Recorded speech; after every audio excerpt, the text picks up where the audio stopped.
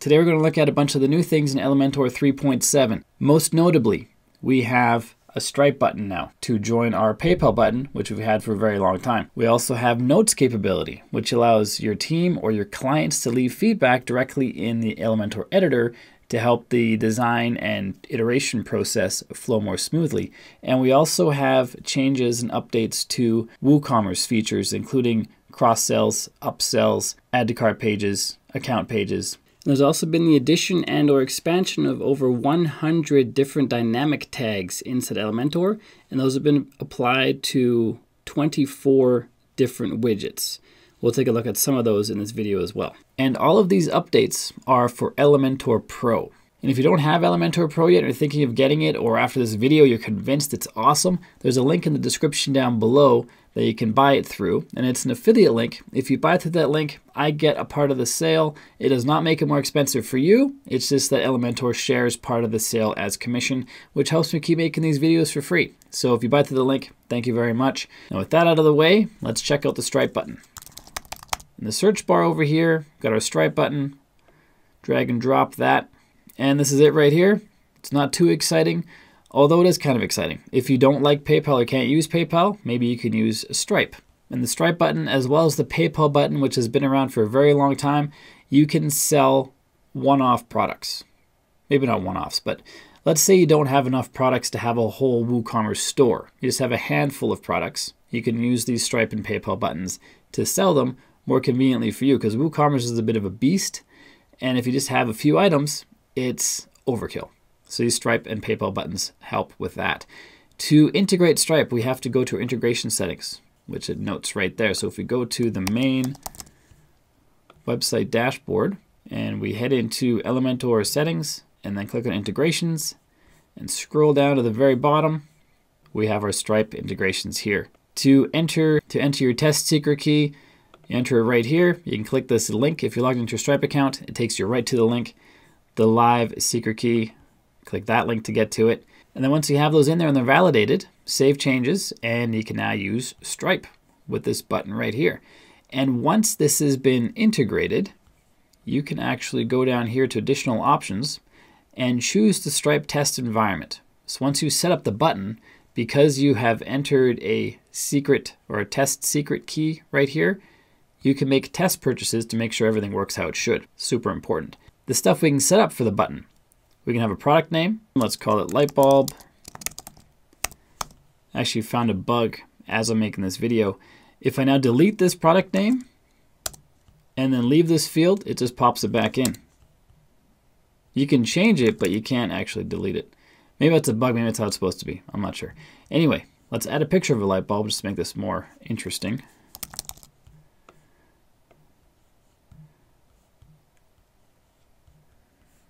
There's a nice light bulb. Let's just add a couple columns.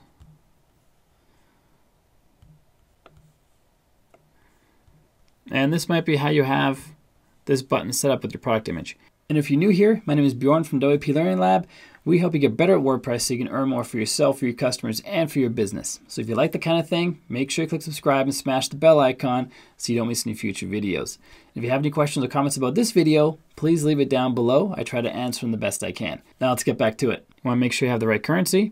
I believe this currency does not have to match your Stripe account because Stripe can accept all kinds of currencies.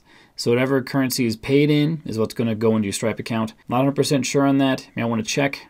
Available currencies include a lot of currencies. So pick the one that's correct for you. Give it a price like $5. You can assign various quantities to what you have here. You could even have different the different buttons. See, this could be the, the buy one button, and we could call this uh, buy one now. Let's take off the icon. And you could have a, a second button. Just duplicate this, and maybe you want to have them be able to buy five. There, buy five. Let's call those bulbs. Buy five bulbs and buy one bulb. And in that way, you can have very specific buttons set up for various things. Because WooCommerce would have quantities built in. The Stripe button doesn't by default. So you have to make different buttons for different quantities if you even want to have different quantities. You can set a shipping price, you can add a tax rate, and you can manage your tax options inside your Stripe account. It shows where right here. Go to your Stripe account, go to products, and then tax rates, and then you can pick the appropriate one. These will be pulled in once your secret keys and your live keys are validated. You can pick the appropriate tax rate, pulls it in from Stripe, and we can center these. Under the button options, we have the Stripe icon from the library. You can also add other icons from the library. You can upload your own SVG icons. You can change the spacing of the icon if you have one. You can add button IDs for extra CSS capabilities or even JavaScript. An important additional option is redirect after success. So if they click on this button and they successfully purchase, they're then redirected to whatever page you have here. And this is like a thank you page after they purchase, or maybe an upsell page if you have uh, a sales funnel type of sequence. There's the test environment option. Make sure you test your purchases first, and then make sure you turn that off when you go live. Open Stripe in a new tab. It's always a great option to have is yes. You can have custom messages, custom error message, Stripe not connected message, and this is not default. This is from the Happy Add-ons plugin. So with the new Stripe button, we get pricing and payments button and additional options, all of which we just covered just now. After the Stripe button, a cool new feature is notes. If you go to the hamburger icon, there's a notes button right here. Click on that and we have our notes panel pop up. And then we can click on any element.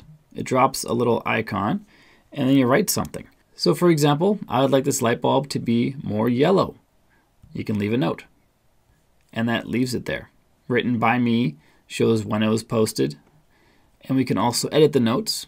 And inside of the notes, you can tag people. If you add the at symbol, it brings up everybody who is a user inside of this website's WordPress dashboard, which might be you and your team or your outsourcers and your clients. You could all be listed here and they can just click on whoever it is to add them to this note and they'll be notified or at least they'll they'll show up more um, more plainly to see in the notes list on the left here. If I click on it, let's see if it takes us somewhere. Let's add another one. This looks great. Uh, I don't think it actually shows uh, a specific list, but I, I, feel like if, if I were to log on, or if you were to log on and this note wasn't attributed to you, it might be at the bottom of the list. I'm not entirely sure. Either way, you switch between notes just by clicking them over here. You see a whole list of notes. You can see the notes that are just on this page, or you can see the notes that are all over the site or only my notes. So there it is. So maybe, oh, these notes that you created. So only your notes will be the ones that you made. All notes be everybody's. And show resolved and show unread only. These ones currently show as read. There's an eyeball here, seen by Bjorn. To resolve them, click on the check mark. To reply to them, reply to them here. Let's say good idea. Now we have a reply thread going, which your whole team can be a part of, including your clients, which is super convenient and the resolve is only for the very first note. The very first note would normally be an action item, and the discussion for that action item will be down below. We can also mark as unread, we can edit, we can copy the link, and we can delete it. I'm going to resolve it, and now it is little grayed out, and it's resolved. Not grayed out number two is not resolved. And then from this list here, we can choose to not show the resolved ones. So check that. All the resolved ones go away and all the open tasks are still seen.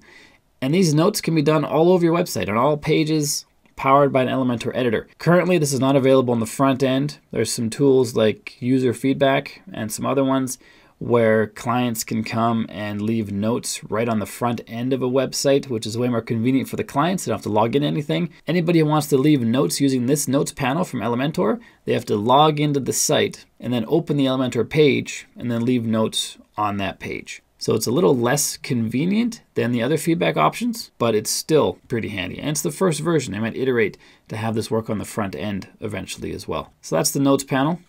When you close out of it, all the notes are gone. They're not published to the front end if you publish the page. They're only visible for people who click on notes here and then want to actually view the notes. Now let's move on to the WooCommerce editions. These are more tweaks, I'd say. Some of them are pretty advanced though. For example, if we add the cart widget to the page, to have these WooCommerce widgets, you have to have WooCommerce installed on your site. So if you don't have it installed yet, you're not going to see any of these widgets I have here, but you can still see what I'm showing you. For the cart page, we now have the ability to add a coupon. Currently the cart's empty, so there's no coupon field. But if the cart did have something in it right now, there would be a coupon field because we have show coupon turned on. In addition to adding the coupon to this page, we can also have cart empty, which we currently see here, as a custom template.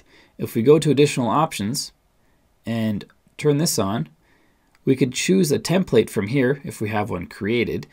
And we create this in Elementor, back in the dashboard, Elementor templates. We can create specific templates to replace this empty cart, which is pretty boring looking. And this will allow you to add more branding to your store, which is great. And we have a similar option for the coupon on the checkout page now. So if we add the checkout widget, we have a new coupon tab. This is the coupon box on the right over here. We can turn that on and off. And we also have the ability to add a template like we do for the empty cart to the My Account page. So if I open that one, if you've used WooCommerce before, you've seen all these pages. If you haven't, these are the stock pages pretty much that you see here. And the My Account page is, in my opinion, not the best looking page. It could be greatly improved. And now it can be improved by anybody using Elementor Pro because now we have under additional options the ability to add a template you'll be able to keep all these buttons just as they are, just add them to your new template. Or maybe you're not selling downloads, so you don't need to have the downloads button. Or maybe you're selling only downloads, so you don't need the addresses section. So you can customize this exactly how you want, not just reorder these links, but you can create a complete page template using the Elementor templates builder. You just find the template here, and it'll replace the My Account template. So it can be completely branded to your store which is super. And continuing on in WooCommerce, there's been an update to the products widget. So if you look up products, drag and drop this guy in here, we have now under the query, we can choose related products, upsells, and cross sells to be the ones that are shown. Related products and upsell products, those are separate widgets as well. So up until now, they've been separate widgets. So if I go back to our widget library here, we have related products and we have upsells right here. We do not have cross sells. That was not a thing before, but now it is added to the, this query anyway. So you can choose to continue using the related and upsell widgets if you want, which means you have to style them all separately. We have to style the, the product widget if you have one, and then the related products widget one separately, upsells separately, and cross sells you have to do in here because it's on a separate widget. But if you stop using the different widgets, it'll save you time because you can just have one product widget. You just change the query and it just fills in the correct products based on your query and you don't have to worry about the design, which saves a bit of time, which is great. So those are the big additions to the WooCommerce related pages and templates and widgets. We also have additions for dynamic content, a lot of them, over 100 different dynamic content tweaks and additions across 24 different widgets. For example, let's say we wanted to add a, a button, just a regular button. Not a WooCommerce button, not a Stripe button, not a PayPal button, just a regular button. We can go to dynamic options and we can choose add to cart. And now this regular button is now an add to cart button. And this allows you to improve your workflow. You don't have to add a whole product widget which has the add to cart button incorporated. You can create your own designs and have complete creative freedom. You just add a button somewhere to your design and make it an add to cart button, which is super slick. Inside your forms, you also have the ability to now populate customer data. So this is a regular form here. And then on the left here, we have a list of fields. Open whichever one you want to populate dynamically. Let's choose name, go to advanced. For default value, choose user info from this big list of dynamic content here. And then click on this little wrench. For field, choose first name. And these fields you see here, these are the fields available in the WordPress users section of your WordPress dashboard. So every user that exists on your site can have on this website these fields that you see here. You can add as many fields as you want to the user data using various plugins. I have a tutorial for expanding the fields you have available to users in the card above and the description down below if you want to check that out. I'm going to choose first name, and this will pre-populate the person's first name if they're logged in and if they're on this form page. If those two things, if those two things are true, it's going to pull in their first name from their user record inside WordPress. And if they're not logged in, the form will just appear like it is right now. And you can customize all these things, the labels and placeholders and stuff over here under content. So if they're signed in, they'll see their name. If they're not, they'll see the default form. And then email, we also have the same options available under user info and then wrench, choose email. And in this case, I'm signed in. I don't have a first name set for me, but it's pulling in my email address. So that's pretty skookum. If you want to have faster, better user experience and most of your users log into your site, this is a great way to do it.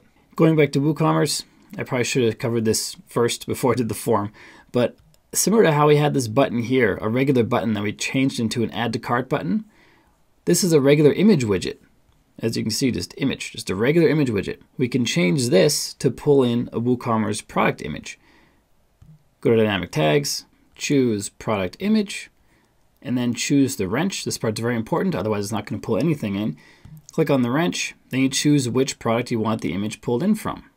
And then you can customize everything you need. I forgot to add that earlier for the add to cart tag that we added here. Click on the wrench, and then you choose which product you want to pull in for that add to cart tag. Otherwise, it just adds nothing to the cart. So make sure you, for all the dynamic tags, you add them and then make sure you click the wrench to choose specifically what you're adding dynamically for that specific element on the page. And we also have some updates to the navigation icons. Just add the nav right there. So if I switch over to, let's go to mobile mode, tablet, we have our hamburger icon. And if I click on it again, we have the hamburger icon used to open the menu. It turns to an X to close it. You can change these now to whatever you want. So under normal, that'll be the hamburger icon version. We can upload an SVG or we can just choose an icon. Let's just make it plus with the circle. Now it's a plus with a circle. For the active state, let's add, oops, let's add just a plus with no circle. Now if I click on this with a plus with the circle, plus without the circle. So you can change these icons to be whatever you want now, which is not available before.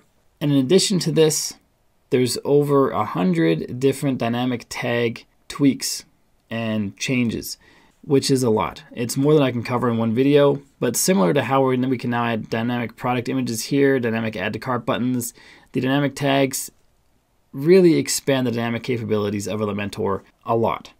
And to dig into those, there's a couple links you can go to. I'll add those in the description down below, and you can check out what tags specifically are being added and where they're being added so you can find out whether or not that's something you like. And even for all the other stuff we covered in this video, I'll add links to places where you can check out more information on all of them down below. So read more about which one interests you. If you want to get Elementor Pro after watching this video or just in general, there's a link to that in the description down below. It is an affiliate link. If you buy through that link, I get credit for that. So they send me a small commission, but it does not make it more expensive for you. But thank you very much if you do buy through that link. It helps me keep making these videos. Next up is watching this video right here, where I show you how to speed up Elementor beyond what you might think is possible. So make sure you check that out. And then after that, check out this playlist right here. It's all about Elementor Pro. If you use Elementor Pro or think you might want to, this is the playlist for you. So make sure you check that out. And if you haven't done so yet, click subscribe and ring the bell so you don't miss any future videos. My name is Bjorn from WP Learning Lab. Till next time, keep crushing it and I will see you in the next video.